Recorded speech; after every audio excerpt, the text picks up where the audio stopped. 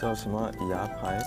鱼鱼排 fish 鱼，就是这边一些当当地的人，他们他们住在那个海上面，鱼排上，对，然后他们就是他们的生活。在海里面抓海鲜，嗯，吃，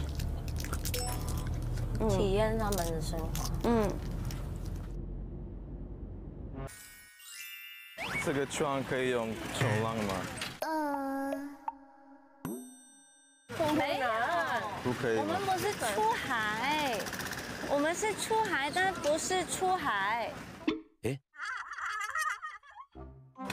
如果它开的很快，我们可以。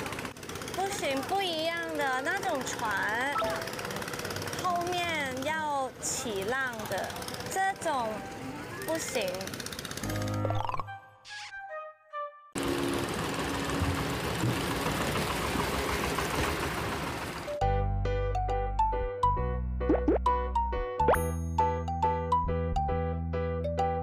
你觉得里面最大的鱼有多大呀？三四十斤。哦，它不会咬人吗？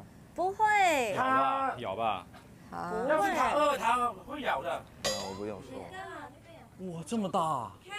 哦，太猛了！哎，看到没，李鲁有这么大。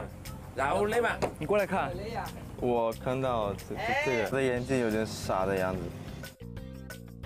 你养了多久？四年左右。四年哦。他说他的鱼是四年，对吧？所以我当时想，这个你不吃吗？你要吃它吗？它吃你还是你吃它？嗯。所以我当时想，它可以吃吗？但是都不给我们吃，我们的当时没买，好可惜。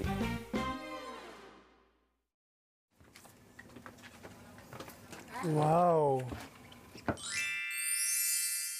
这里这里有电吗？嗯，不是电，没有啊。Electricity。你要电来干嘛？你要电干嘛？好气啊！这个是都是。哦，有我们这是电啊。我以为他们不会有电，但是他们有电，还有冰箱，还有其他的电子设备。这种住在海上的生活很浪漫。